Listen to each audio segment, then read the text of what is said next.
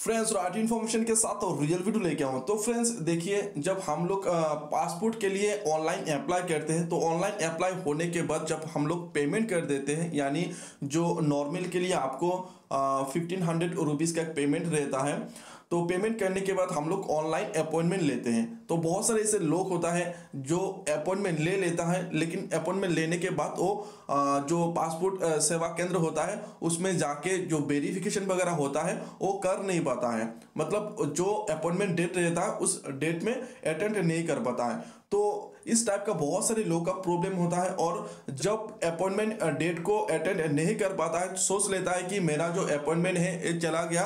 फिर से मैं अपॉइंटमेंट ले नहीं पाऊँगा और जो मेरा फिफ्टीन हंड्रेड रुपीज़ मैंने ऑनलाइन पे कर दिया, वो बर्बाद हो गया।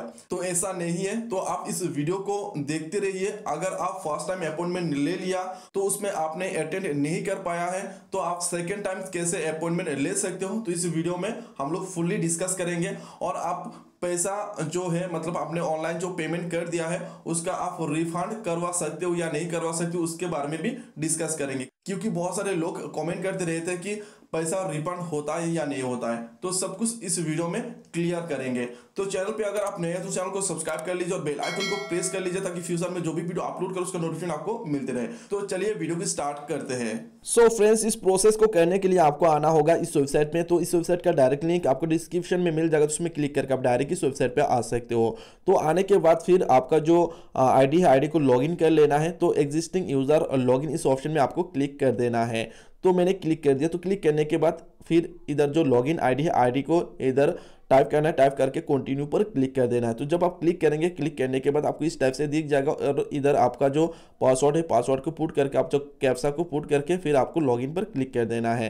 तो जब आप क्लिक करेंगे, इस टाइप से दिख जाएगा। तो फ्रेंड्स आपका फॉर्म ऑलरेडी सबमिटेड है। तो आप view saved and submitted application इसमें आपको क्लिक करना है। तो जब आप क्लिक करेंगे, इस टाइप से दिख जाएगा। तो जो भी फॉर्म का यानी एप्लीकेशन का आप अपॉइंटमेंट लेना चाहते हो तो उसको आप टिक कर लीजिए। तो टिक करने के बाद इसमें प्रोसेसिंग होगा, फिर आपको इस टाइप से दिख जाएगा। और मिडिल वाला जो ऑप्शन है पेमेंट एंड अपॉइंटमेंट इसमें आपको क्लिक करना है। और जो फ़र्स्ट वाला ऑप्शन है, देखिए शेड्यूल अपॉइंटमेंट फॉर एप्लीकेशन तो इसमें आपको क्लिक कर देना है। तो क्लिक करने के बाद इस टाइप से आ जाएगा, फिर आपको नेक्स्ट कर देना है।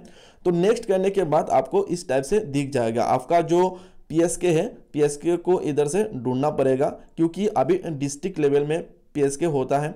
तो आपका जो डिस्ट्रिक्ट है डिस्ट्रिक्ट को इधर से देख लीजिए और देख के देखिए कि इसमें अवेलेबल है या नहीं। अगर है तो आप नीचे आइए।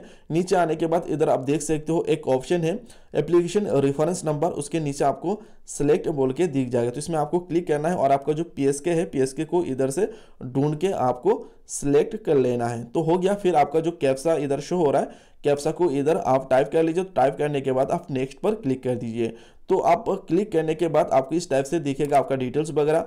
तो फ्रेंड्स देखिए, अगर आप सिलेक्ट किया हुआ डेट में ही लेना चाहते हो अपॉइंटमेंट तो ले सकते हो। अगर आप दूसरा डेट में लेना चाहते हो तो इधर से आप चूज़ कर सकते हो कौन सा डेट में आप अपॉइंटमेंट लेना चाहते हो। तो आप चेंज भी कर सकते हो, कोई प्रॉब्लम नहीं है। फिर आप बुक अपॉइंटमेंट पर क्लिक कर देना है। तो जब क्लिक करेंगे तो आपका अपॉइंटमेंट सबमिट हो चुका है और आपको उस डेट में अपॉइंटमेंट मिल चुका है। तो आप देख सकते हो प्रिंट एप्लीकेशन रिसिप्ट तो इसमें आपको क्लिक करना है। क्लिक करने के बाद इस टाइप से दिख जाएगा।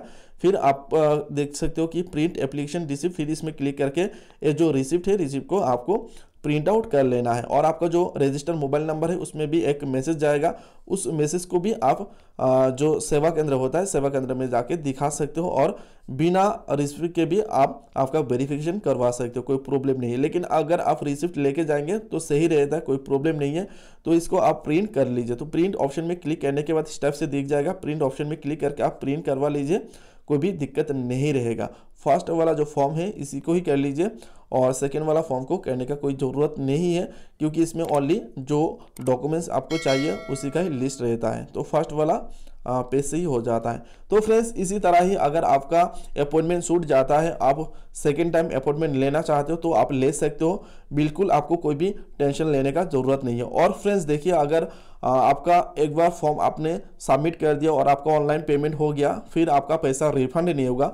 आप बार बार अपॉइंटमेंट ले सकते हो, अगर आपका कुछ भी प्रॉब्लम होता है प्रॉब्लम की वजह से आप अटेंड नहीं कर पाए जो भी अपॉइंटमेंट डेट आपका था तो आप दोबारा अपॉइंटमेंट लेके आपका काम करवा सकते हो। तो फ्रेंड्स इस वीडियो में इतना ही था। तो वीडियो अच्छा लगे तो लाइक कीजिए शेयर कीजिए और मेरे चैनल को सब्सक्राइब करना ना भूले। तो आज के लिए इतना ही।